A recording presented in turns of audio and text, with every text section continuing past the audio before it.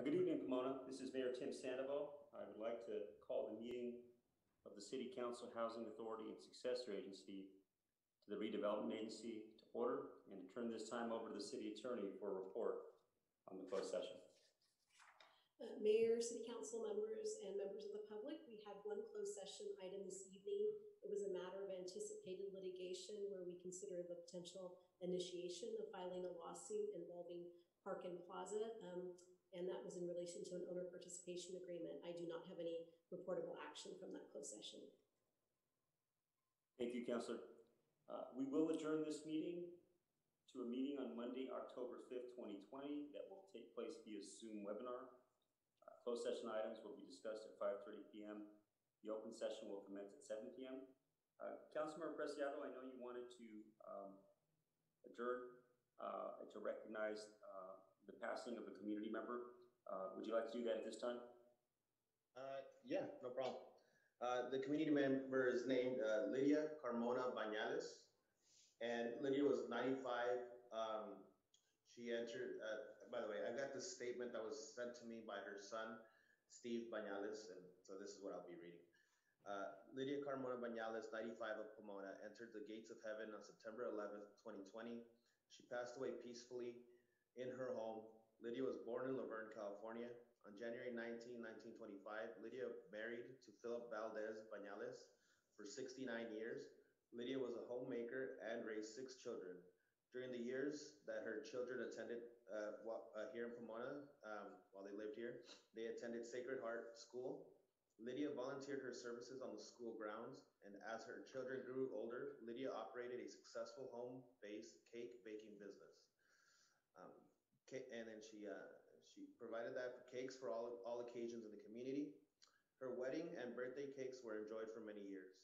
Lydia was preceded in death by her husband Philip Bañales on February 2nd, 2013, and by her daughter Dolores Bañales on March 25th of this 2020. Lydia is survived by brothers Raymond and David Carmona of La Verne, daughters Christine Perez and Estela Belmudez, and sons Philip, Daniel, and Stephen, as well as nine grandchildren and three great grandchildren. Thank you very much, Mayor. Thank you, Councilmember Preciado. Thoughts and prayers go to the family. Uh, As you may recall, on March 16, 2020, the City Council declared a local emergency in response to the global COVID-19 outbreak. Uh, Preserving the health and safety of our employees and the public is our top priority. In accordance with California Governor's Executive Order N-25-20 regarding the Brown Act and guidance from the California Department of Public Health on gatherings, this meeting is taking place by teleconference. Council chambers is closed. The public is accessing the meeting via the Pomona Internet streaming channel on the city's website. Council members and I, along with the city manager, the city attorney, city clerk, and executive team are all in different locations. Please bear with us as the technology may disrupt the flow of the meeting. The agenda has been modified to accommodate the needs of a council meeting that is teleconference. At this time, I'd like to ask everyone to please stand for the Pledge of Allegiance, and Councilmember Lustro will lead us in the pledge. Thank you, Mr. Mayor. Uh, Please place your right hand over your heart. Active duty military and veterans, feel free to salute. Ready, begin.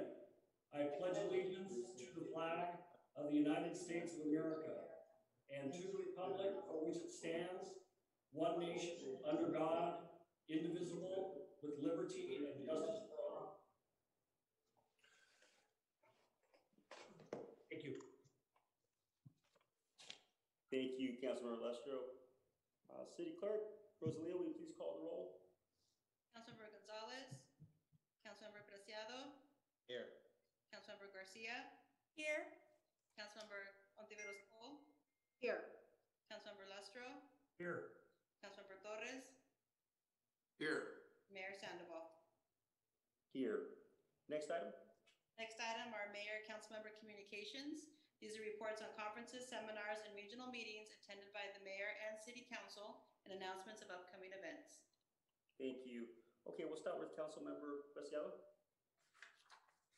Good evening, everyone. Um, in response to questions about the Pomona Choice Energy Program, I'd like to let everybody know that uh, this uh, Thursday, thir- is Thursday, correct? Um, we will be having a, a town hall. Oh no, I have it here. It's Wednesday night. What? Uh, completely bailed on. I'm sorry. It's on Thursday at six thirty PM to eight PM with you, me, and Chris Diggs. Thank you very much for your help, Mayor Sandoval, and I'd like to uh, see everybody there on that meeting to get these clarifications cleared up. Um, The second item is just uh, a reminder to everyone, uh, we had a tragic accident um, over the weekend, and please do not drink and drive at um, DUIs. Please do not, it's not worth it. It's not worth it to yourself, and it's not worth it to the community. Um, And that's all uh, I'd like to say on that. Um, Thank you, Mayor Sandoval. Thank you, uh, Vice Mayor Garcia. Thank you, Mayor. I want to thank God's Pantry for delivering uh, food to the Mosaic Gardens Apartments in District 3 this past uh, Friday. Our families greatly appreciate all the work that God's Pantry is doing, and special shout out to my colleague, uh, Councilmember Victor Preciado, for being the volunteer coordinator and ensuring that over 300 families on Tuesdays and Thursdays receive food and much needed items every week since this pandemic started. Thank you, Councilmember Preciado. I would also like to remind everyone that this Friday at Ganesha High School, there's going to be another food drive sponsored um, by Water, spearheaded by Water Director uh, Carlos Goytia from Three Valleys. And Councilman Per- Preciado, Mayor Sandoval, and myself are helping to support. If you need any items, please come. It's while supplies last from eight AM to twelve PM. And again, if anyone needs anything during these times, the mayor's COVID-19 committee is trying to, to do as much as we can. As part of the basic needs committee, please reach out to us so that we can make sure that everyone's taken care of. And for the last time this year, I'm going to implore, beg, and plead with you to please fill out the 2020 census. It is so important to our community that the census be filled out. Uh, every 0.1% that goes up in the city of Pomona is 160 families. And that 160 families is $1.8 million over the course of 10 years. Our numbers are so low right now in the San Gabriel Valley that there are rumors that we might lose a congressional seat. This is not the time to be losing representation, Pomona.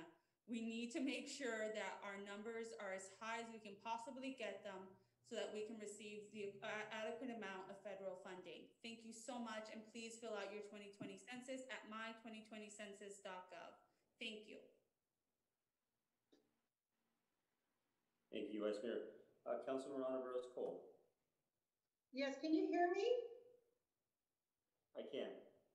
Okay, great. Okay, so I just want to say hello, everybody. Hope everybody's having a uh, good start of the weekend, staying out of the heat if possible. Please take uh, advantage of the uh, food distributions that are coming our way. Uh, This is a very important uh, uh, thing for our city, uh, people who are uh, definitely in need of some type of um, uh, distribution. We are here for you. Also, please, again, uh, be mindful of the COVID uh, 19 rules and regulations. We want to keep you safe. Thank you. Thank you, Councilman Ontiveros Cole. Councilman Lustro. Thank you, Mr. Mayor. Uh, Good evening, everybody. It's good to see everyone. I hope everybody is uh, doing well and uh, staying healthy. And I'd just simply like to echo Councilmember Preciado's comments about the tragic loss of life um, that uh, the community experienced over the weekend uh, due to uh, impaired driving, excessive speed. Um, and then we also, we, uh, you know, there was another, there was another accident up north end of the city uh, a day or two later because of excessive speed. Uh, folks, I think it goes without saying, don't drink and drive, but also don't drive at excessive speeds. Don't drive like there's no tomorrow, uh, because there in fact may not be a tomorrow either for you or for some innocent person. So keep the speeds down. I know we've seen a lot more uh, sloppy driving. I know in my neighborhood and throughout the city. Please, for your own sake and for the sake of our community, uh, please drive carefully. Thank you. Thank you, Councilman Lustro. Councilman Torres. Oh, hey, thank you so much, City of Pomona for tuning in to the, uh, city council meeting. Um, I want to thank a few folks, uh, for the success of our food distribution event today at Palomares Park. I want to thank the Sikh Temple for providing food, milk, and water for almost five hundred families And I want to thank my volunteers and neighbors in District Six who helped come together and um, help deliver all the food to all these cars in less than two hours. And um, I really appreciate them and all their work that they put into the setup. And um, I'm looking forward to continuing this efforts, not just at District Six, but there may be opportunities to contribute uh, to different parts throughout the city of Pomona uh, in the near future. Um, and I do want to actually say something to the point of the tragic loss. I really am sorry about what occurred um, over the over the weekend and the loss of life and the speeding that's been going on uh, throughout the city of Pomona. Um, and I could honestly say, with with all honesty, that I've talked to hundreds of residents over the last month, and um, residents are frustrated with the speeding in Pomona, and they want the Pomona City Council, they want the mayor and the city council to bring back speed bumps. And um, I know that there may be some issues in terms of emergency response times, but there's definitely needs to be a remedy to the situation because um, there's a lot of speeding taking place. There's a current ban on speed humps placed on the city council before we got elected. And it's definitely something that we need to revisit in the near future. Not saying that we should place speed humps on all the neighborhoods throughout the city, but there's a lot of different traffic calming measures such as speed humps, uh, radar speed limit detectors, and uh, of course, uh, working with the Pomona police officers to uh, target specific areas that are in need, high traffic areas during peak hours. Because I'm talking to the residents uh, all the time, and um, you know they tell me straight out, Robert, we will support you 150 percent if you bring a petition or you bring a vote to the city council or to the city to bring back speed humps because they could not believe the horrible decision that was made to ban them uh, before that we got elected. So I'm hoping the city council and the mayor could um, consider reviewing that in the near future um, because it's an opportunity to make a lot of Pomona residents happy. Thank you. Thank you, Councilmember Torres. Um, yeah, I also just want to weigh in, uh, and just simply say, uh, to the family, uh, my, my thoughts and, and prayers are with you, uh, during this difficult time. Um, and, uh, you know, we'll, we'll, um, yeah, I can't, um, can't say anything, but just, just very sorry for the tragic loss of life, uh, on South Hamilton. Um, and uh, also, uh, just um, to talk about the event that uh, Nora, or say Councilmember Garcia, Vice Mayor Garcia raised about the food giveaway on Friday. Uh, It's going to be at, uh, there's been some slight changes to the event. Uh, It's going to be at 7:30 a.m. at Ganesha High School. Uh, And it's in collaboration with the effort that the school district does by giving away uh, food to families. So we're going to um, utilize that infrastructure uh, to give out uh, 500 boxes of, um, of food uh, to, to, to many of the families already that are uh, there to, to get food from the school district. So, uh, you know, it'll be a first come, first serve, and uh, we anticipate being there from 7:30, um, well past uh, 9:30, 10:30, really depending on the number of families that we get. Uh, we certainly want to make sure that uh, uh, people are aware of that. And uh, with that said, I'm going to um, turn it back to our city clerk, Rosalia. Thank you. Next on the agenda are city manager communications, and these are reports from the city manager. Nothing at this time, Mayor. Thank you, James. Okay, next item.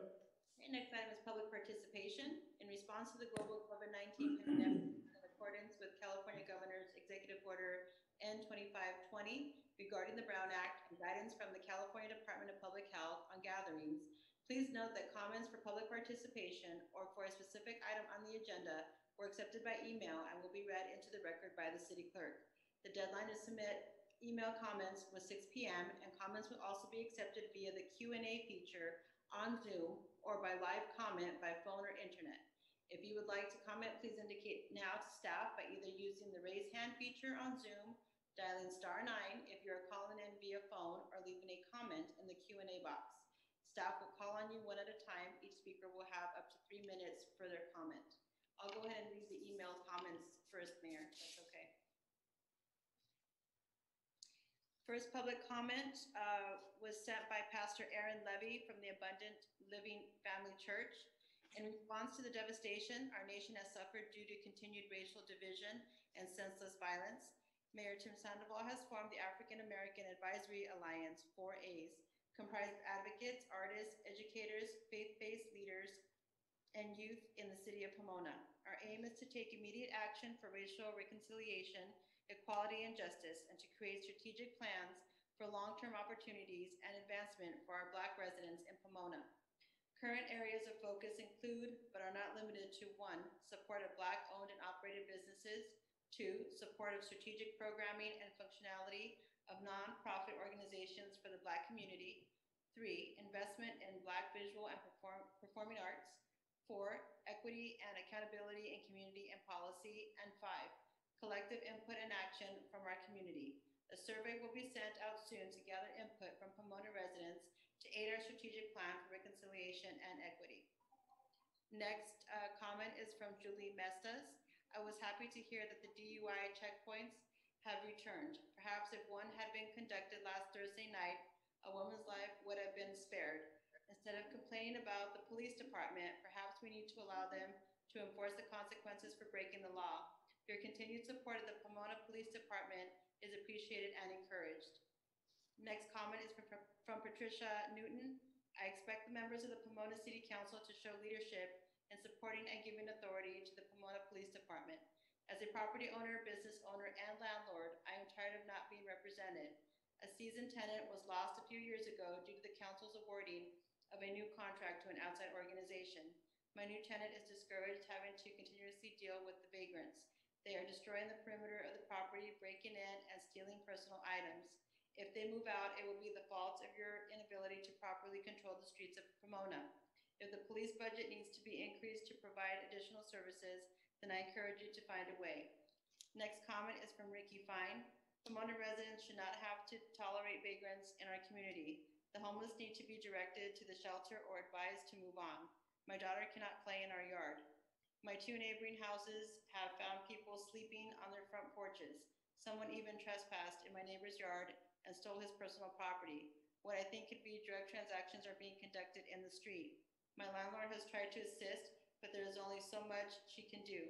Please give the members of the Pomona Police Department the tools and authority they need to clean up the streets. I love my home and do not wish to move, but this situation has become intolerable. Next comment is from Elizabeth Brooks. There is a difference between asking tenants to move and evicting them. Due to COVID-19, landlords are currently not able to evict a tenant due to non-payment of rent, even if they ask them to move.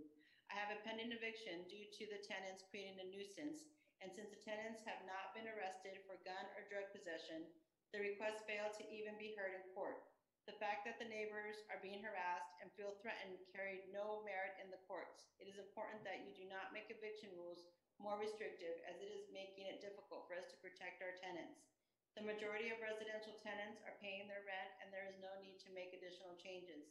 There is rental assistance available for those seeking help. Also, why are laws only for those who choose to follow them? Residential rental properties in Pomona require business licenses. Local restaurants are required to have licenses and are subject to health inspections. Businesses have to obtain have to obtain approved city licenses before they are allowed to open up. It should not be a surprise when street vendors are removed by authorities for not complying with city requirements. The city is beginning to look like a flea market. I understand surrounding cities are starting to enforce the rules concerning non-licensed vendors, and I encourage the Pomona City Council to do the same. Final comment is from Gerald Cruz. On April 3rd, 2006, we asked, I quote, "We look forward to attending all hearings regarding this matter and ask that you include us in your contact list for all hearings regarding regulating cannabis dispensaries in your city. We have been asking you to regulate this, this business since 2005, for us, not for anyone else. We knew this time would come, we stated. I quote, there are now 10 states that have laws allowing cannabis use for medical purposes. It won't be long now. Where is my cannabis business license? Your lying, cheating, useless, good for nothing council staff had a duty to notify us before you considered the licensing of cannabis businesses. When confronted with allowing our use or, shut, or shutting down others, you properly chose excessive force at first. After repeated visits requesting action against the unlicensed dispensaries operating or giving me any license you chose to shut down the dispensaries, but your incompetent staff could not get them to shut down. You allowed them to continue now for over 10 years. I stopped complaining when you agreed I had priority. Don't hate me like that ignorant mayor Norma Torres. Fix this. That was the final um, email comments, Mayor. We'll now go to see if there's anyone in the Q and A, which there are not. And we do have one hand raised. Actually, yes, one hand. Eunice Russell. Go ahead, Ms. Russell.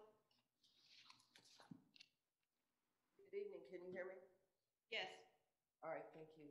Good evening, Mayor and council members. Um, I'm Eunice Russell, a longtime Pomona resident, and I'd like to just make some brief comments on last week's special meeting. Uh, Mayor, regardless of what I'm about to stay, say, I still feel that you're the only choice to be in that seat for the next four years. Now, with that being said, uh, last week only Councilwoman Ontiveros Cole asked any questions of the PEOC, while the rest of you um, spoke to their praises, which, which was good to know the things that they do. But most disturbing uh, thing that I heard coming from the dais was the statement that Latinos need to support Latino causes and phrases such as our community and their community. That sends a negative message and it sounds like us versus them. And it marginalizes the rest of uh, Pomona residents. And I believe since we're investing taxpayer money, that you owe it to us to answer some questions or get some answers for us regarding the organization. Like how much of the billed hourly rates are actually going to the laborers? Um, why isn't there a formal contract since you intend to um, make this a long-term commitment? Has the city ever audited them? What are the actual salaries of the employees running the organization?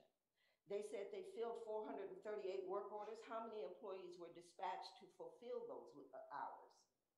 And again, how long do you intend to fund this organization?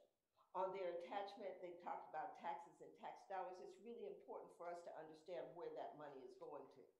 As to the chamber, they may have added 72 businesses last year, but what do they do um, other than lunch, lunches and office openings? I didn't join because they had no services that would um, benefit my small business. Even though I wanted to join, there was nothing they could do or they had to offer me. I, what kind of stats do they get? Um, what are we really paying for? I'm not saying get rid of it. I'm just saying have them answer some questions. Uh, what are their goals for self-sufficiency and how are they working to obtain that? And I think that's a question for both organizations. And lastly, I'd like to know why the city manager's email address isn't on the website. I'd like to know how you track his communications and interactions with the public.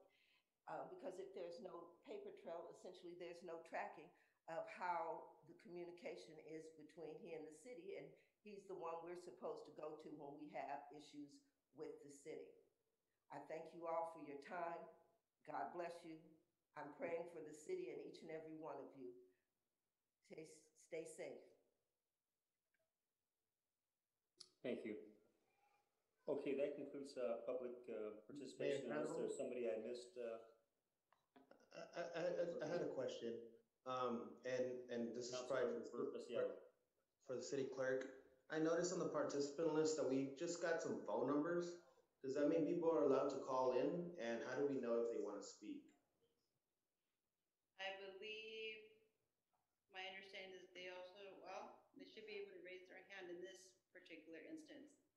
Um, I can, I can ask them how to talk and see if they need, what they they would like to speak. They can press star nine, Rosalia, to, to Okay. to raise their hand. They can press star nine. There you go. Uh, I think uh, maybe in the future we can uh, announce that if it's uh, for them to raise their hand. Uh, It is announced in the beginning, in the Oh. the public participation. It's all part of the, the rules that I'm reading off to everybody. thank you. You're welcome. And I think someone just raised their hand, Rosalia.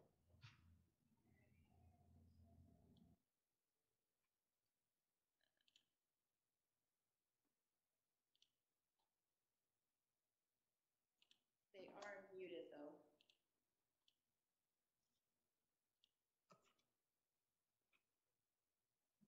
Is there, uh, who would need to unmute them? Is it John? They're unmuted. There we go. Okay, already? If the speaker will please go ahead and proceed, you have three minutes. Good evening, Mayor. My name is Jim Joyce Baker Smith. I have lived in Pomona for many years. I love this city. I've always been inclusive in my efforts to help improve the perception of what Pomona is really like to both its residents and people who might hear about Pomona on the news. Though my work with Willie White Park Focus Group Neighborhood Watch, its annual cultural festival, Juneteenth Celebration of Freedom, also the Pomona Optimist Club's Students of the Month annual Christmas shopping spree, and the National Council of Negro Women collaboration with Martin Luther King Jr. Project, I worked hard to encourage partnerships, not only among organizations, but most importantly among people in general.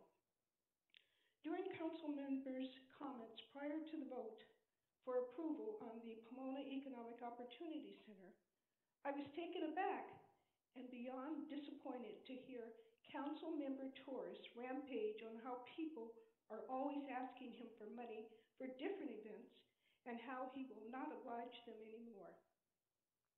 My assumption was that that comment he made with ire was directed toward the projects for which I requested funds for the organizations I named. Of course, he is never obliged or obligated to support any event he deems to be of little value. But when my city council representative summed up his statement by saying, and I quote, Latinos have to advocate for Latinos issues, that showed me that he deems the organizations of which I am a member are of little value to him. If one has to revert to being divisive and encourages separating groups, how does that possibly present me, represent me or anyone else who is not part of the chosen group? I'm concerned about anyone who discriminates yet couches himself in the category of social justice issues. By the way, I don't know how Latino issues can be any different than any residents of the city. We want equity for all, a level playing field. I was further disappointed and frankly dismayed by the fact that you, Mayor Sandoval, nor any other council member made an effort to correct the discriminatory statement made. It seems to me if we would all work together for the common good of uniting our city, that would be better, we would be better off. We would be more compassionate, more understanding, and more accepting of all those who live in our city. Please consider what I have said and remember, words have meaning.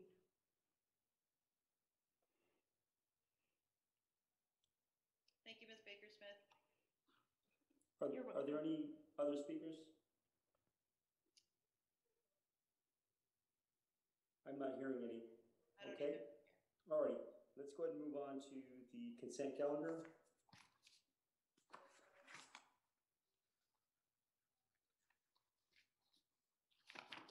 Consent calendar, all matters of the consent calendar may be enacted by a single motion without separate discussion.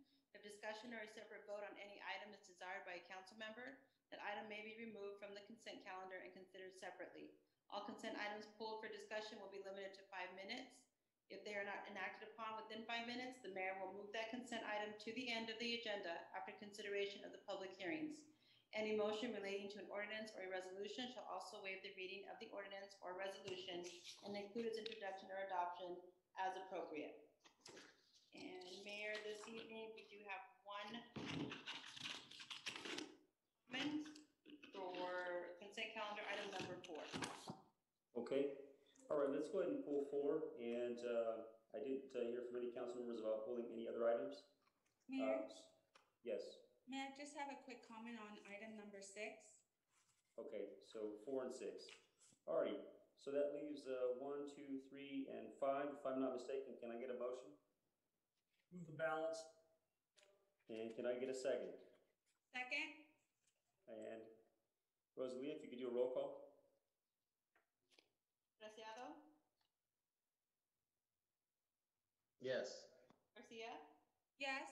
Ontiveros Cole, Yes. Lustro, Yes. Torres, Yes. Sandoval. Yes. Okay, so we want to go to, is it four, item four? That's correct. There's a comment by Vice Mayor Garcia. No, we have a, a public comment that was emailed. Okay, a public comment, okay. Let's go ahead and take the public comment and then we'll, um, go from there. Comment is from Jacqueline Elizalde. As a member from Teamsters 1932, I'm disappointed. It has been almost four years later under your leadership, and here we are. The the outsourcing of Parks and Recreation to MCE has made its personal mold in Pomona. I don't understand how a council could be so anti-union only to save our city a few hundred dollars. Jobs were lost, workers were displaced, and let us ask ourselves, as elected officials, did our city save money by outsourcing to MCE off the backs of our working class? Families can't enjoy public restrooms without stepping on filth. Children are often greeted with trash. There are used condoms and needles everywhere. There is no place for families, and it has only got worse. This was not the case when we had our very own staff hired and invested to do the job. There have been zero conversations about bringing these essential jobs back to Pomona. We need our city workers back who take pride in our city. Again, nothing has, was done in 2017, 2018, 2019, and still nothing has been done today, 2020. This isn't a new agenda item, and let the record speak for itself. Outsourcing has cost our city more. That was the final comment for that item. So Renee, are you on the line? I'm here. Yeah, do you recall having this conversation about what it would cost to uh, insource or bring back our crew? Because uh, I want to make sure that the record actually accurately reflects this discussion that we had in the past. Yes, there, And, there uh, was, And the council elected to uh, continue to do the research uh, as to what it would take to do that. Uh, And in the meantime, we were on a month-to-month contract with MCE, um, as I recall, and that's part of this ongoing contract. Uh, But I think it would, you don't have to give me the numbers now, but I think it would be valuable uh, to share with the community exactly what that cost would be uh, to, to the city. Sure, we can come back at a, at a near future meeting and I have that number. I believe that number was in the staff report back when we first talked about this, as I recall, sometime last summer. I think it's when the questions were arose, uh, questions arose and the discussion came about. Um, it is quite, the amount to bring back in-house the landscape maintenance services is quite, is quite high, much higher than what it would cost us currently to contract out. Uh, and I believe that that estimated number is in that, uh, staff report, but we can certainly bring that back for more discussion. And, and to be clear, it was, uh, it was not this city council that made the decision to outsource, uh, to MCE. Okay, uh, we have a speaker, uh, we, I, that was the last speaker, but I think there was a council member who wanted to speak on this matter? No? Okay. Can I get a motion? Uh, Mayor, can I say something really quick? Sure. Uh, Renee, yeah. Uh, Renee, if, if I'm correct, this three-month contract will hold us over till, uh, we conclude our RFP where we are evaluating, um, this company and as well as any other that, uh, applied to the city to do city maintenance? That, that is correct. Uh, we're in the middle of the process of, we have first, uh, did an RFQ process, a request for, uh, qualifications, where we sent out that request to various landscape maintenance contractors. Uh, and we asked them to submit their qualifications to be able to, to be able to provide the scope of services that we're looking for. Um, that process has completed. We have a list of qualified, uh, contractors. And those contractors now will be receiving a request for proposals.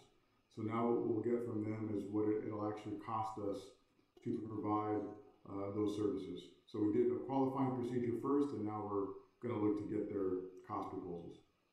And from what Mayor Sandoval just said, then we will also be able to have the uh, conversation about, uh, the cost, um, of, uh, of bringing it in-house, correct? We can have that discussion at that time, yes. Thank you. Great, thank you. All righty, uh, we have a, uh, item before us. Uh, can I get a motion? Mayor? Yes. Yes, I just wanted to make a comment, please. Councilman Roscoe, go ahead. Yes, hi, thank you, Mayor. Um, yeah, you know, this is something that I've been waiting for as far as getting back in-house. I think the in-house, uh, employees have more of a dedication to the city of Pomona. We, we have really tried hard to, be- uh, get satisfaction from MCE. It's not working, it hasn't worked. And I feel that right now, yeah, we'll do the, um, RFP, we'll go ahead and get something, but the discussion must be that we bring back our city employees. We need to do this because I see the difference. To me, the three hundred and fourteen thousand or whatever we're dealing with, three hundred and forty-four thousand, you know, we're trying to cut corners. But basically, when we, when we look at it, when we have dissatisfaction from residents and, and dirty restaurants and improper cleaning of parks and parkways, we're really losing that money. We're wasting that money. And I am looking forward to bringing back the, um, people that are well qualified to work in our city, and that's our employees. Thank you.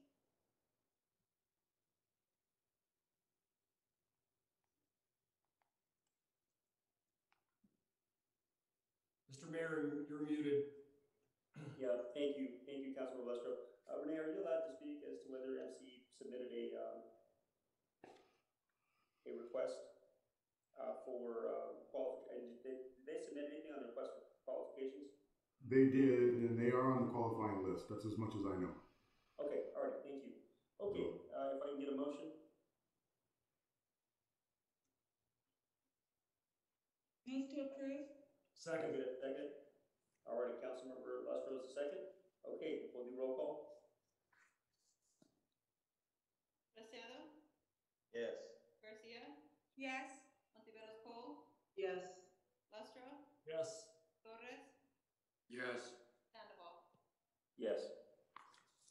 All righty, moving on to the next item, is that six? That's correct. Yes. And we, uh, did not have a speaker for item six, but it was Councilmember or Vice Mayor Garcia who wanted to speak to that. Okay, go ahead, Vice Mayor.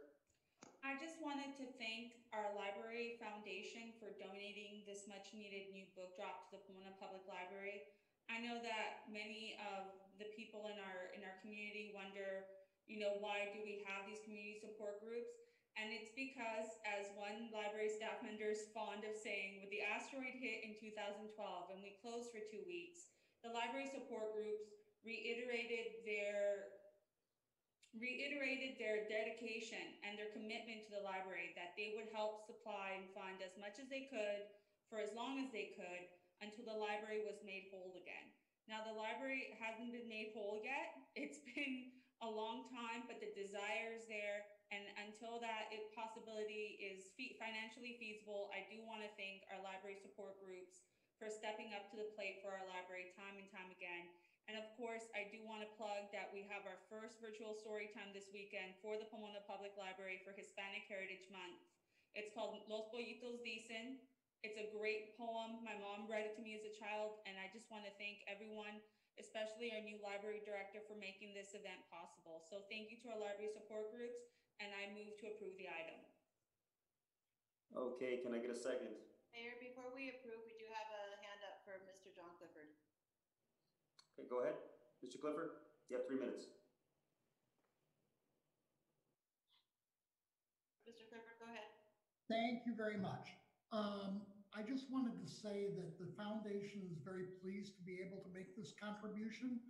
Our, our new library service manager came to us and explained that we, with our uh, P- PPL uh, to go program, that we could not lend videos and audio CDs, audiobook CDs, because we, there was nothing for them to be returned. This new box will allow for separate return of books and electronic material, and we were very pleased. Thank you.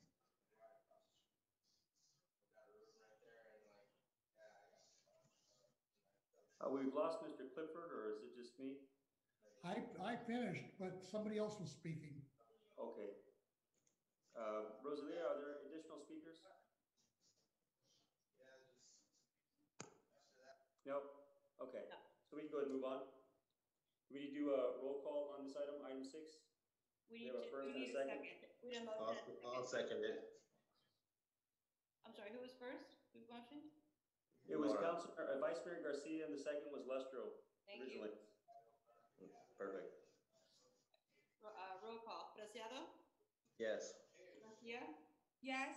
Ontiveros Cole, Yes. Lustro, Yes. Torres? Yes. Sandoval. Yes.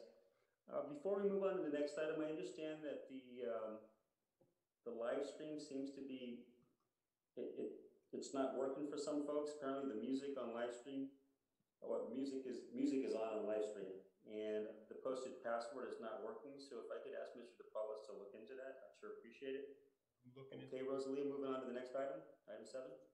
Next item is discussion and calendar item number seven, is the suspension of late fees for utility bills and general update regarding eviction moratoriums and the city's response to the COVID-19 pandemic. And we do have uh, a couple of emailed um, comments for this item.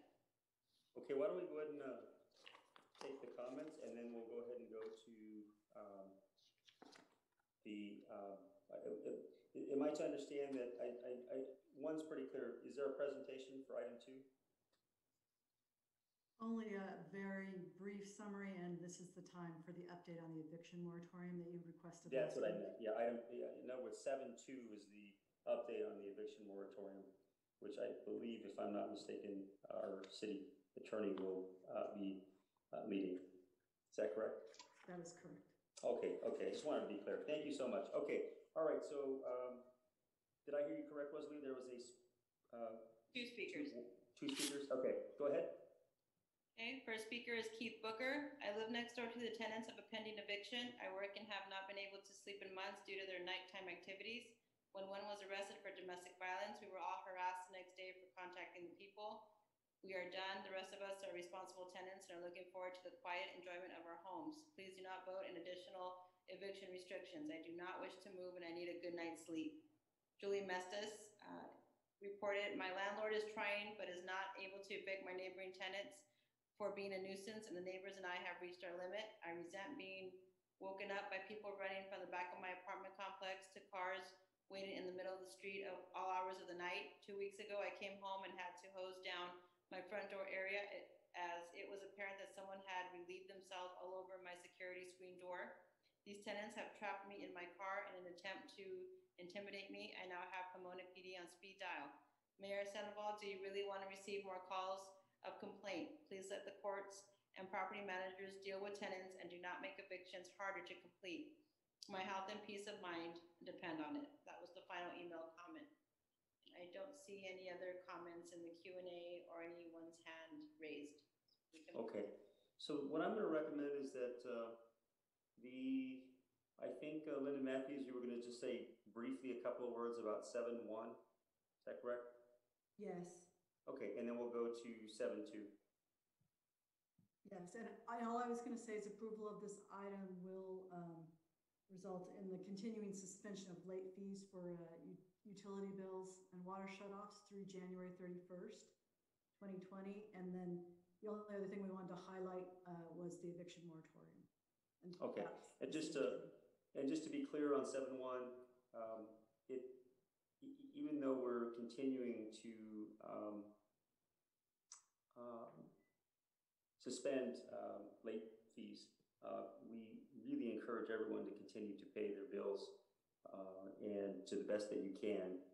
Um, it's critical, uh, and so it doesn't relieve them of having to pay their bill. It just simply means that they still have to pay their bill. We're not gonna shut off their water, uh, but, uh, they will not get any late payment fees as a result, correct?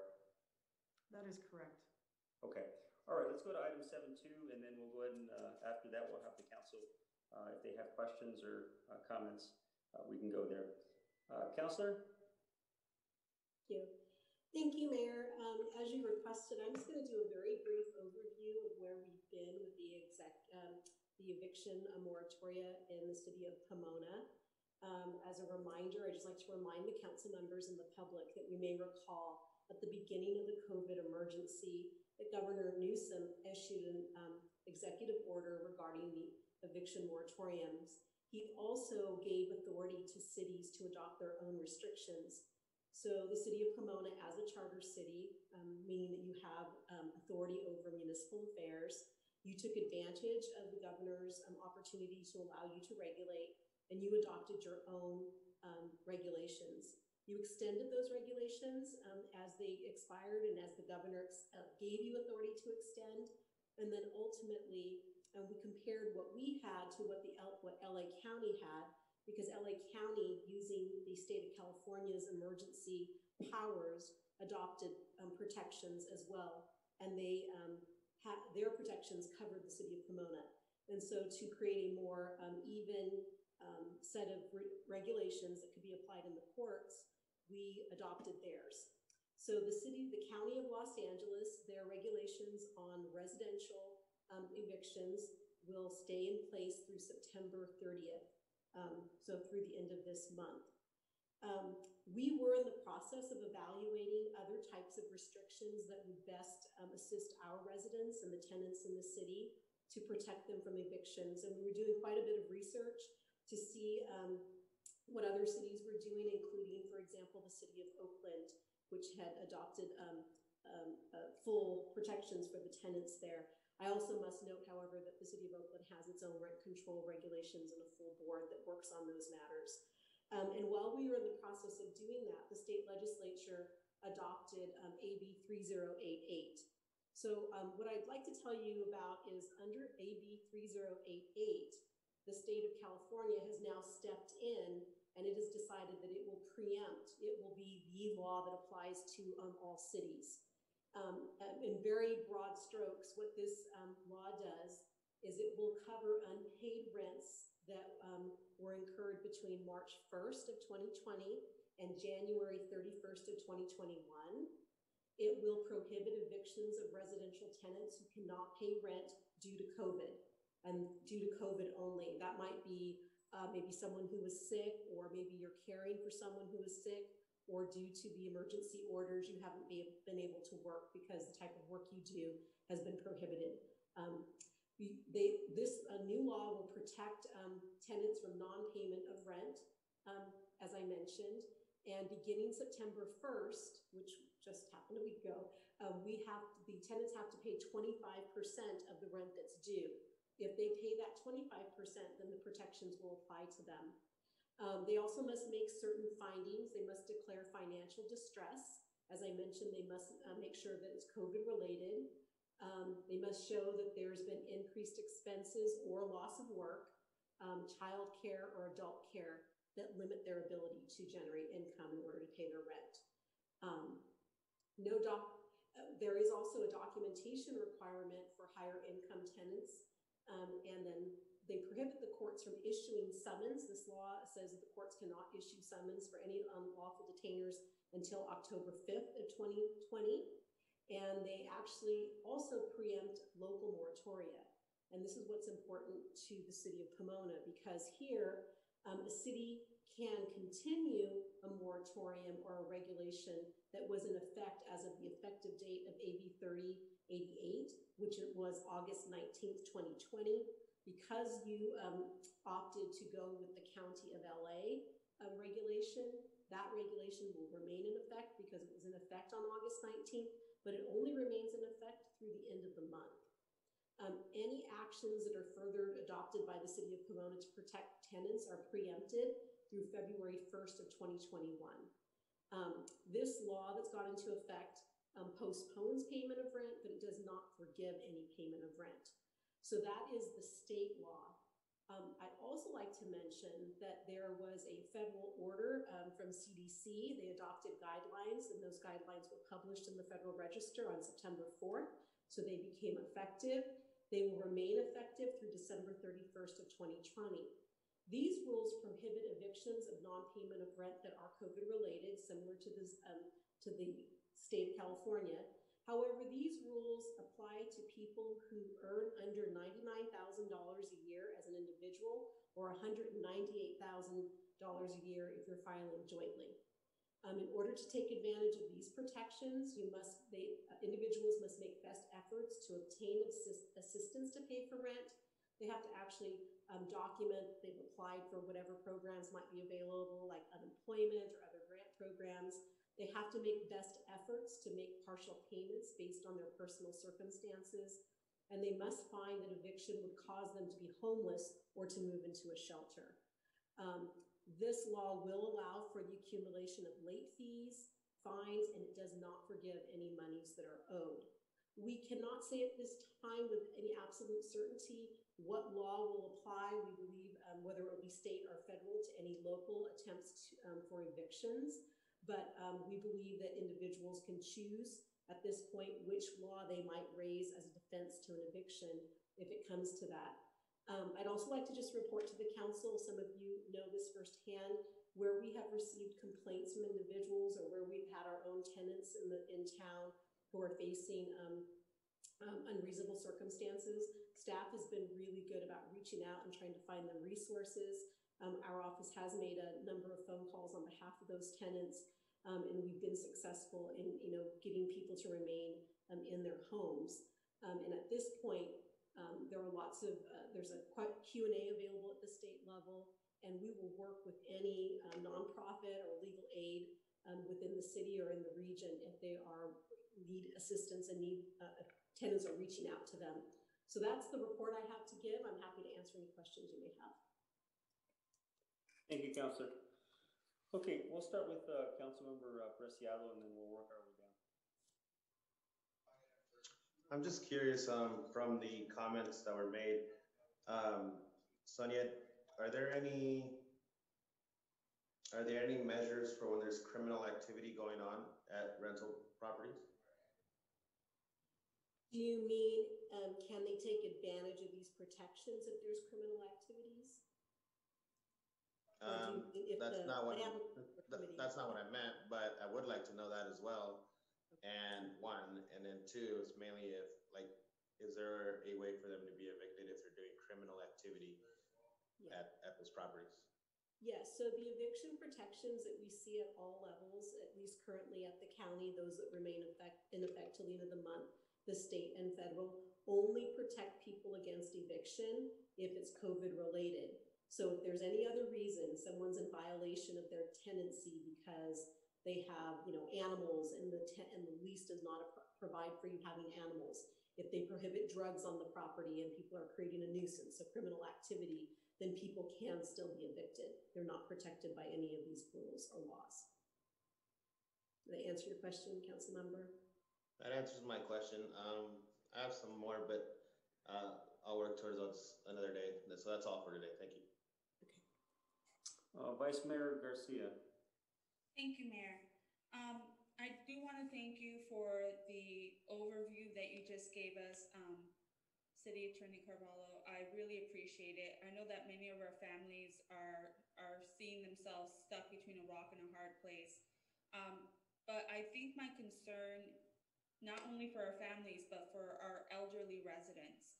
Um, what can we do or what ha- do you have any idea what the city has done to reach out to anyone who may not be connected to social media? I know that we are very heavily um, involved in social media. Most of us that's how we're communicating at the moment especially since many times renters do not get water bills or trash bills from the city. There's no way for us to communicate with them. Um, is there anyone on staff that could that can speak to any of the outreach efforts to communicate with these in, with people who may not be tech savvy per se i know that maybe we've have we communicated through our nutrition program at the parks And I'm going to defer to staff on that, um, Vice Mayor, only because I, I, know that there has been some work that's done. I know we've pre- prepared those Q and As, made flyers, but um, I would defer to staff on that question. mr frank is that a question for you Yes. Um, good evening, Mayor and members of the council. Uh, we have distributed information, um, through the, uh, senior meal program. We've also worked in concert with, uh, the mayor's COVID committee that has, um, distributed flyers and the, uh, magnets and, um, a lot of different materials to some of the harder to reach, um, neighborhoods. Uh, and, but if, if there's a specific, um, group or population that you would like us to focus on, I'm sure that we can come up with an outreach plan. Thank you, Mr. Frank. Thank you, Director Frank. Um, I was just concerned, the question always comes up, what are you, what is the city doing to communicate with residents? And the truth of the matter is that we're trying to do everything we can. And so I, I just don't want anyone to slip through, through the cracks. So thank you very much for the overview. Thank you for the answers, Director DeFrank. I know we're, we're not doing enough. If you are a individual who is stuck in this horrible situation right now, I know you, that they, you feel we are not doing enough as a city, but we are really trying to help. Um, it seems that according to our city attorney, our hands are tied until February. Is that pretty much what I understood, Counselor? Yes, at this point, we defer to the state protections um, until February of 2021. Okay, so until February, and then we come up with either hopefully a federal bailout or new plan. Is that pretty much what we're hoping for? Correct, and we will continue to monitor any um, new developments at the, at the county, state, federal levels. Um, We'll also continue to work with other organizations. If we see some good ideas, we won't wait until February. We'll start to craft regulations so that we're ready to go in February and there's not a, a period where people are unprotected. And that's what I, what I appreciate. Thank you so much. I have no further questions, Mayor. Thank you all very much for your answers and your help towards our community. Thank you, Vice Mayor. Uh, Councilmember Rhonda Roscoe? Uh, there's no, nothing that I need to know. Uh, the attorney just answered some of my questions. Thank you. Thank you. Uh, Councilmember Lustro? Thank you, Mr. Mayor. Uh, I just want to thank staff for the, the comprehensive uh, report on, um, uh, on this part of the issue with respect to the, uh, the state law and how it kind of, how it kind of ties into what we've, we've done thus, uh, thus far. And uh, thank you, council, for giving us a summary of, uh, of what was written in the report. My questions, my questions were answered. Thank you. Thank you, Councilmember Lustro. Councilmember Torres? Thank you. Um, one of the things I'm proud of as being on the city council is, um, being able to provide, uh, assistance to the residents of Pomona for housing assistance and for utilities assistance. Um, there's a great need in the community. As you've seen, we've had a, a big food drive, not just in District Six, but in all parts of the city of Pomona. And, um, people are, are barely making ends meet and are, they're living to a week to week basis. Um, but the second thing that I would ask the city to do is to also talk to the business community um, about uh, their particular policies towards rent, and um, keep keep in mind that there are many business owners in the city of Pomona, and um, we need to have an open communication with them. Um, that's all I have to say. Thank you. Thank you. Councilmember First. Um, Sonia, a question for you. I, I, I thought I heard you say that uh, ours is good till the end of the month. Um, and I'm not sure what, what is good till the end of the month, but I know that, but I know that the county, the county had extended the renter eviction moratorium through October thirty-first. And we were under the sort of auspices of the county order. So can you speak to that? Um, yes, so, um, I can say with certainty as verified that we know of the extension, um, on the residential portion of their action through the end of September. Um, I know that I took a quick look and I know that, um, Linda Matthews took a quick look or made some contact with the county. Um, and as of this afternoon, um, I could not say with certainty whether that residential portion actually got extended through October. Um, one of the things I didn't mention is that the state law pertains and preempts you as to residential only. The cities and counties can still adopt regulations as to commercial, although I haven't really seen anyone do that. And it may have been the commercial portion that was extended, but I'm going to defer to Linda on that. Okay, and just, you know, I'm, I'm, I'm looking at, um, some, um, information that, uh, indicates that three weeks ago, uh, the county supervisors extended the renter eviction moratorium through October thirty-first. Um, I, have been looking for written information. I will tell you that I called their Business and Consumer Affairs Division four times for LA County, four different times, spoke to four different people. What I was advised is that the Board of Supervisors was scheduled to, um, extend the rental eviction on, um, September first, which was the day after AB, um, the- Thirty eighty-eight. Yes, thirty eighty-eight.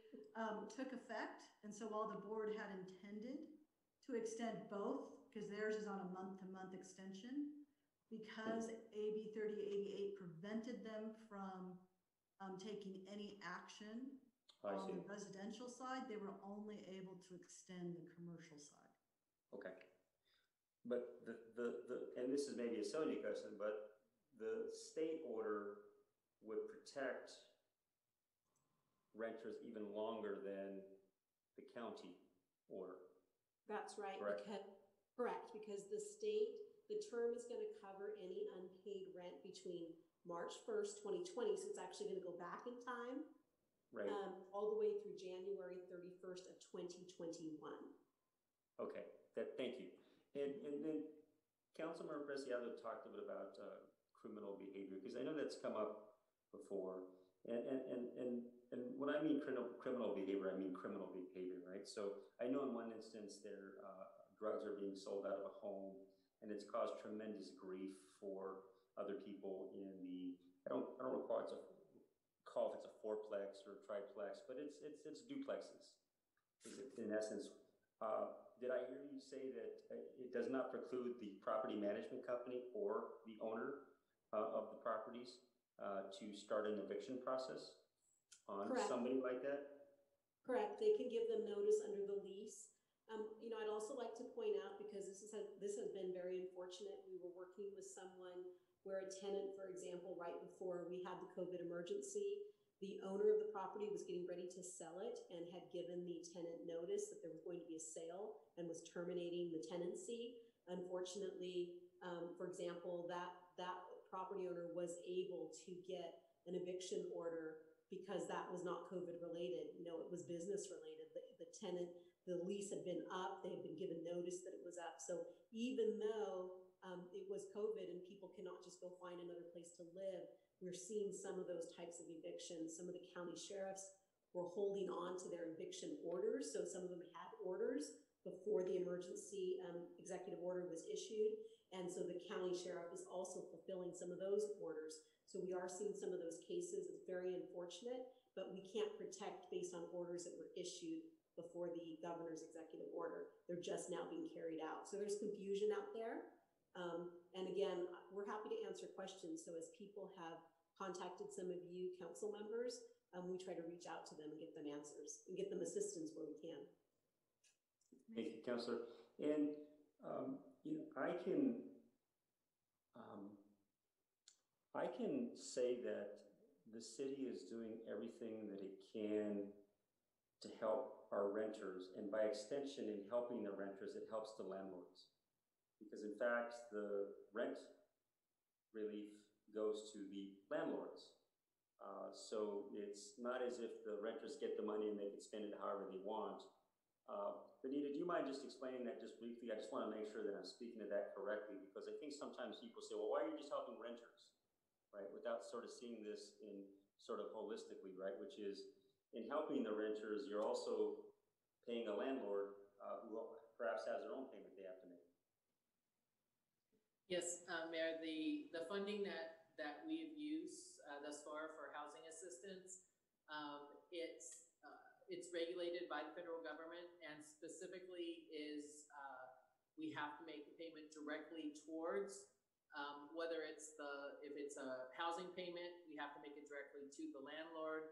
If it was a mortgage payment, we would have to make it directly to the bank. Um, or if it was a utility payment, we'd have to make it to the utility source. So um, any of the housing assistance that we've been able to provide um, has not gone directly to the tenant. It's made, payment is made on behalf of the tenant to uh, wherever the debt um, is assumed. Great, thank you. And just on the business front, if I could just keep you on, Benita, is that um, I know we did an initial round of uh, funding, say grants, uh, to about 40 plus businesses in the amount of $5,000 per business. Uh, I happened to speak with one of them, uh, which is Kitty's uh, Bakery. Uh, she was one of the recipients of the $5,000. So I can tell you that there have been a number of businesses, micro businesses, which this council agreed to, uh, that gave out um, over 200 plus thousand dollars uh, for uh, micro businesses. And it is my understanding that at our next council meeting, we'll be bringing back uh, some potentially additional dollars, uh, well over three hundred thousand. Uh, correct me if I'm wrong, Benita, that would be not for the original businesses uh, that received the five thousand, but uh, micro businesses that uh, perhaps didn't apply or maybe didn't meet the deadline uh, when they, um, uh, for the first round, if you will. That's actually on tonight's agenda. Oh, forgive me. For whatever reason, I thought that was October fifth. I was confusing uh, that. So, so, so, so in fact, we're actually looking at it tonight. That is- Yes, we- That is right. Okay, okay, yeah. For whatever reason, I thought we had talked about October fifth, uh, but I'm confusing another item. So my apologies. Okay, all right. But what, but the main thing is that means is that uh, some dollars will go directly to our small business and particularly micro businesses. Um, so great. Alrighty. Sonia, thank you so much uh, for that. Uh, appreciate it. Uh, I think that uh, addresses some of the issues. I'm sure the community perhaps will have some questions. I know there's um, some things that we had talked about that I'm just thinking of one one other city that's doing something perhaps different. Uh, but uh, certainly, uh, we we want to do everything that we can uh, to help our families uh, in this time of need. Um, as we all know, this is a difficult time. Some some it's difficult for uh, more difficult for others, and uh, just want to express our commitment to to helping our residents. Okay. Uh, any other comments from the city council regarding item seven? I'm not seeing any, so can we just take both of these, seven one and seven two, together? All right, can I get a motion? Move item seven. Can I get a second? Second. All right, roll call? Preciado, Yes. Garcia, Yes. Ontiveros Cole, Yes. Lustro, Yes. Torres, Yes. Sandoval. Yes. Okay, thank you. Item eight, uh, finding of public benefits. Any comments or questions from the council regarding this, uh, item? Seeing none, can I get a motion? Motion approved. Can I get a second? Second. Roll call? Preciado, Yes. Garcia, Yes. Ontiveros Cole, Yes. Lustro, Yes. Torres, Yes. Sandoval. Yes. And we move on to item number nine. Item number nine, public hearing. The public hearing amending the consolidated plan, the fiscal year 2020-2021 annual action plan, and the fiscal year 2020-2021 city operating budget by increasing revenue estimates and appropriating home investment partnerships program, community development block grant, uh, lead, ha- lead hazard reduction, and healthy homes, CalHome reuse, and Section 8 housing choice voucher funds, and by reallocating budgeted emergency solutions grant, coronavirus, and CDBG CV program funds. Okay, uh, do we have a staff presentation, or do we have any speakers on this item? We do not, Mayor. Okay, and do we have a staff presentation? Um, I don't, there's not a presentation, but I did want to let you know that the item we have, the- that you have before you tonight brings, uh, unspent appropriations from fiscal year nineteen twenty into the current fiscal year. And I'd like to highlight, uh, some of the programs that will be funded as a result of tonight's action.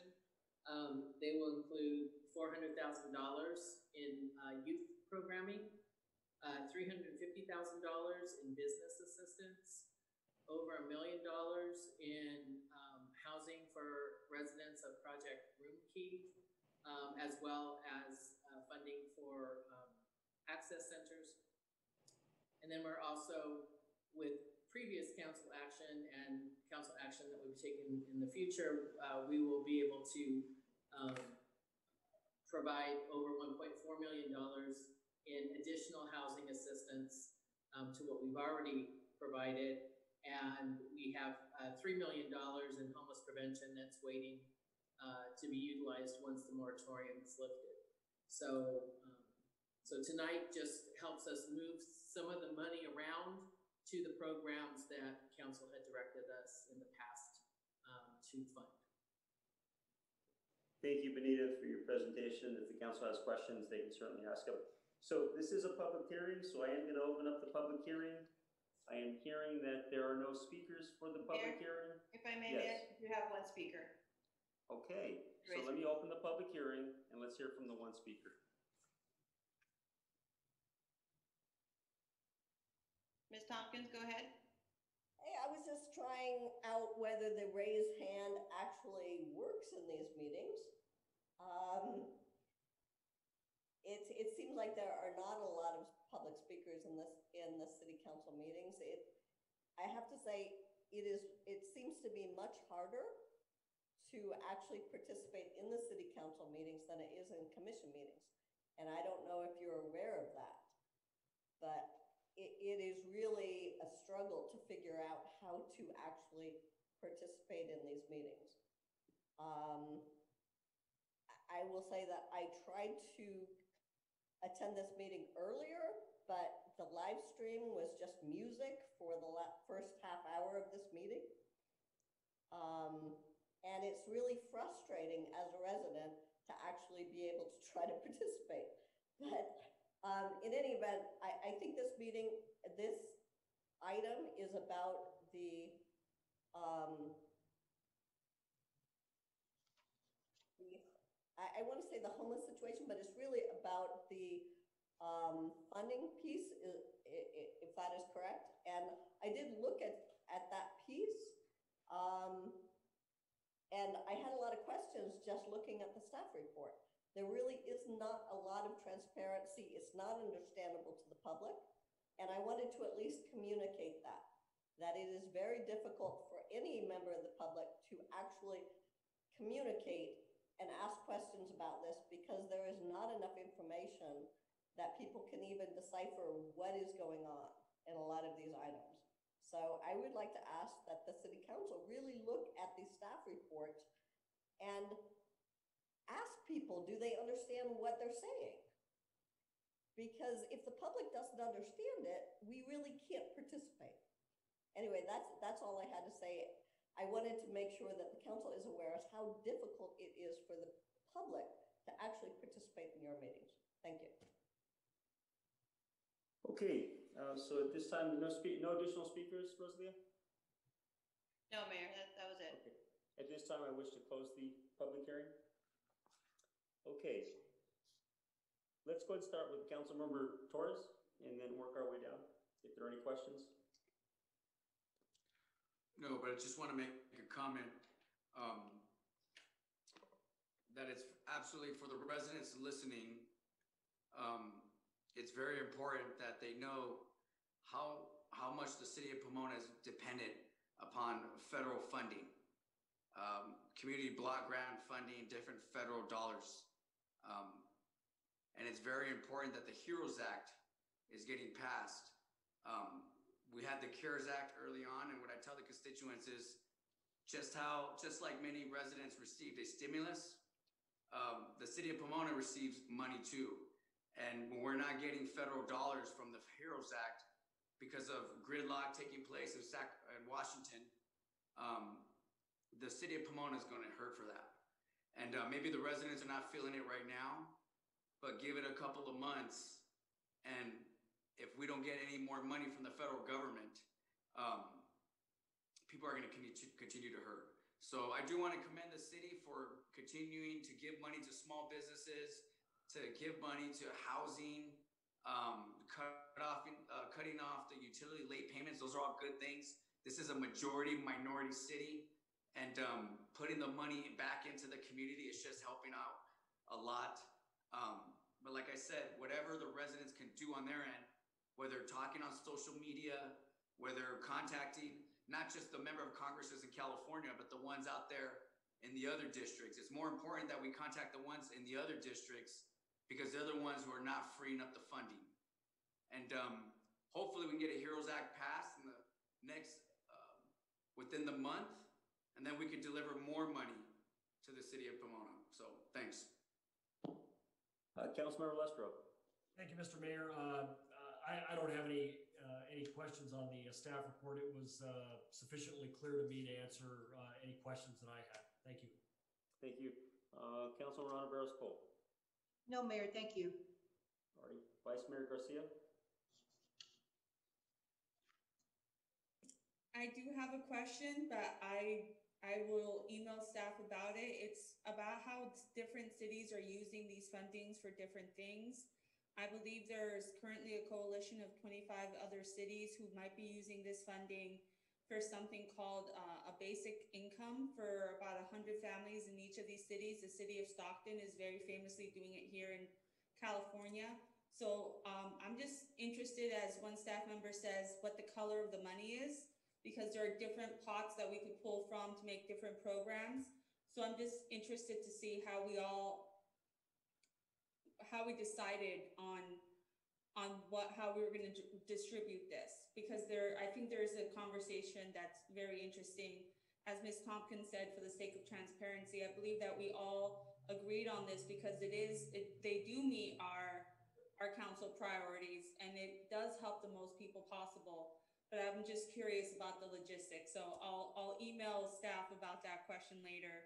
Just because it's, it's interesting how we all get funding for all of our cities through census, through f- federal funding for these programs, and every city decides to take it a different way, so I, I am curious about that possibility, and I just, I'll, I'll email staff about it. Thank you for my time, Mayor. Okay, Councilmember Preciado?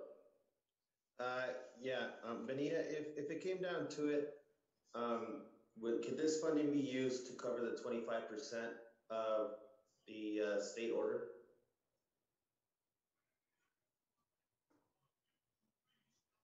I'm not sure You're if she's mute, muted. You're muted. Thank you. The um, housing assistance portion would be able to cover that.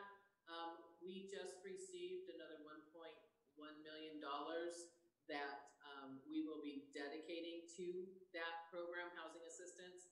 That's in addition to the 3 million for homeless prevention. So that will be coming to city council in October um, because we just received it less than a week ago. Um, So at this point, um, in addition to the funding that we've used, um, so far for housing assistance, we'll have an additional, um, one point four million in housing assistance, uh, as of October, uh, if council approves it as of October fifth. Uh, just out of curiosity, would people be able to apply for it? You said it's coming back in October. Do we have to wait till October for pe- uh, residents to apply for that then? We can accept the applications, but we can't, um, we can't expend any funds until, uh, we bring it in to our budget, which would be October, October fifth. Okay, thank you. Um, Benita, thank you, uh, for your report. Um, can, can you share with, um, somebody who may be watching this meeting or listening to this meeting is, who, who is this really going to? I mean, this is, this is obviously, uh, millions of dollars. And, you know, we've tried to have a very, um, deliberate, you know, it's, I mean, this, this is an emergency situation, right? Uh, this isn't as if, you know, we're thinking two years, well, you know, how should we use this money? This is money that is specifically allocated to help people in a time of need. And, um, so, I, you know, I understand there may be some confusion about what that means in terms of where these dollars go, but can you just kind of highlight a little of where these dollars are going, just for the public who, uh, may not know, is, uh, that, you know, they see a dollar amount and they see language on a piece of paper. What does this, what does this concretely mean for the people of Pomona? Um, well, some of the funding is going to things like first-time homebuyers programs and rehab. So those are our regular programs. The new CARES Act funding, um, is basically going for, uh, corona-related relief. So, and a lot of, um, the programs that we, um, put the money into are basically, um, provided to us by the funding source. So HUD being the funding source says with, for example, emergency solutions grant funding, that, that you have very specific eligible activities and, um, and eligible, uh, um, participants. And so we look at all of the rules and regulations, um, be, you know, prior to, uh, putting them into a program.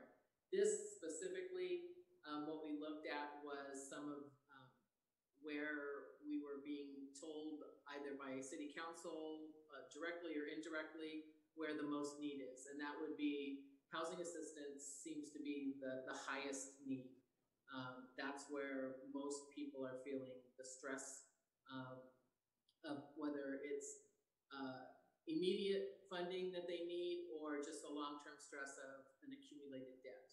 Um, secondly, business assistance. That's the other what we have heard.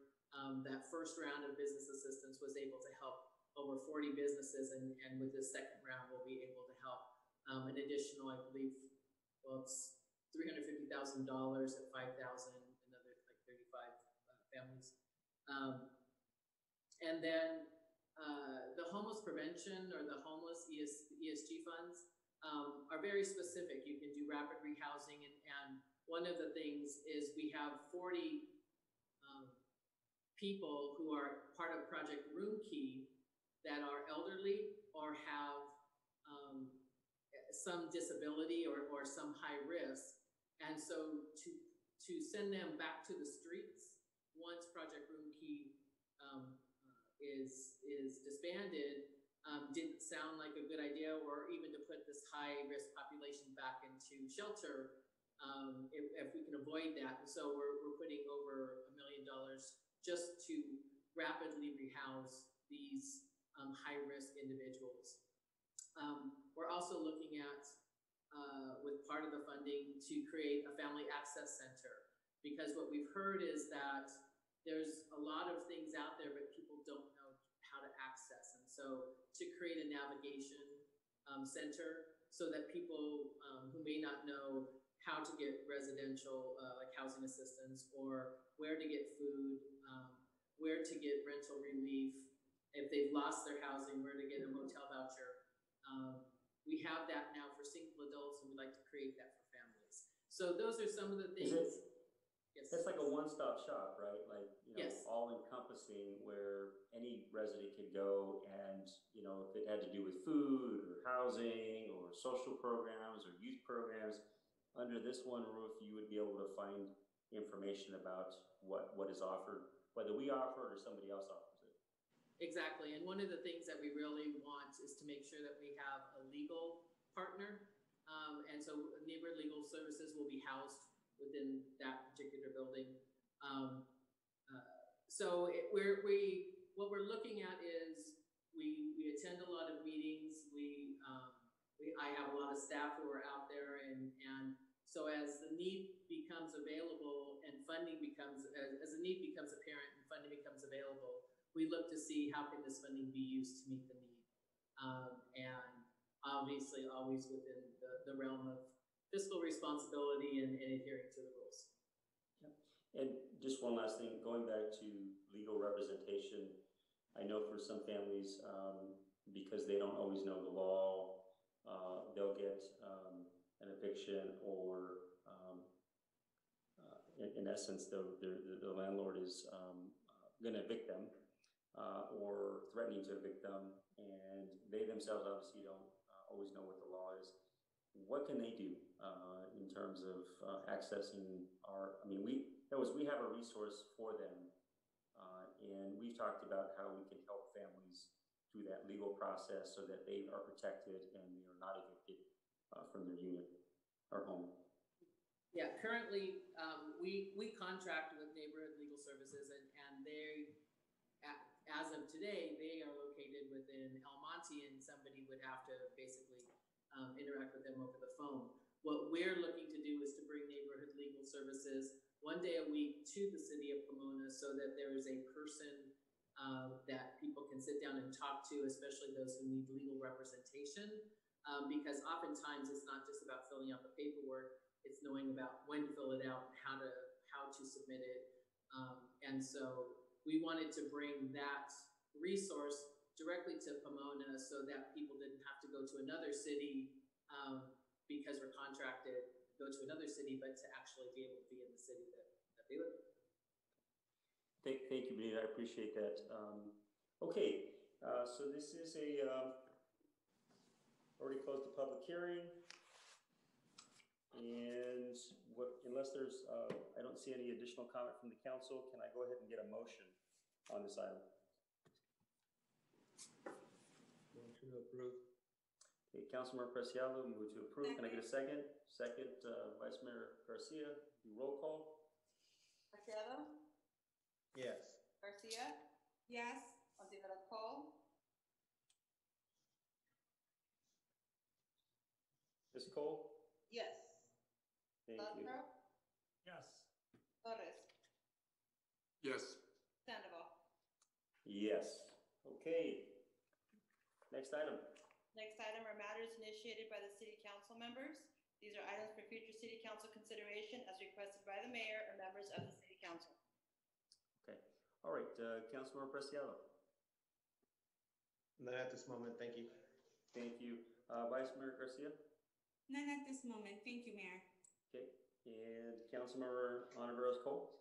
Yes, Mayor, thank you. Um, uh, Renee Guerrero, uh, Public Works Director. Um, uh, I'd like to know when the two locations will be, uh, coming up in October. I know we, we talked about it in regards to the speed imaging machines, and, um, there's four locations, but I know phase one is coming up in October. Uh, do you have a date, uh, for this? I'm really concerned about the motorists who are losing their lives. And uh, I know this is just a just barely touching the surface, but you know, we really need to do something uh, as quickly as possible. At least let them become aware of how fast they're driving. I mean, this is so unfortunate. Um, and um, so if I can have an answer uh, pretty soon, sir. Thank you. Yes, ma'am. Okay, uh, Councilmember Lustro? Uh, nothing this evening, Mr. Mayor. All righty, and uh, Councilmember Torres? Uh, yes, uh, just very briefly, I know I touched base on this, on the speed humps and the traffic calming measures. Um, if sometime in the near future, we can come back and, and revisit that now that the entire city council is, um, um, you know, aware of, of what the community has been expressing in the last couple of days. Thanks. Okay, thank you. Uh, I don't have any uh, comments at this point, so uh, I'm going to propose that uh, we go ahead and adjourn the meeting to a regular meeting on Monday, October 5th, 2020 via Zoom webinar due to the COVID-19 pandemic. Uh, Closed session items will be discussed at 5:30 PM and the open session will commence at 7 PM. Uh, Everyone, please be safe. Uh, Have a good night and um, see you soon. Good night. Night.